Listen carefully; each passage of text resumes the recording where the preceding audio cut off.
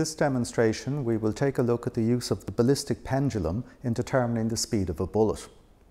Rather than a conventional, conventional gun, we're using a staple gun.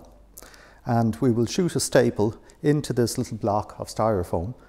And as a consequence of the impact, uh, the block will move across, causing these threads to swing through a small angle. The amount of movement we can measure.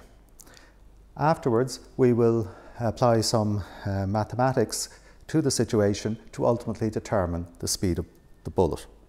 So if I hold this in position and we're ready to fire, you can see that the block moved in the first instance approximately four centimetres. With a length of string of 40 centimetres, it is possible to determine the angle through which the string moved. Having worked out the angle, we can do a calculation which reveals that the block here raised by about two millimetres above its starting position.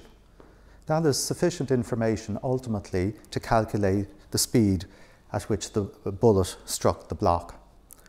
In the first instance, conservation of momentum is brought to bear when the collision occurred, and subsequently we apply the principle of conservation of energy to determine the speed of the bullet by working backwards from the height that the block rose to.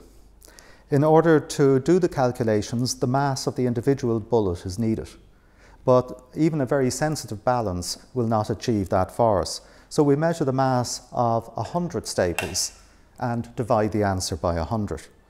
The mass of the block can be determined and using both figures we can uh, work out the actual velocity uh, that the bullet had upon impact.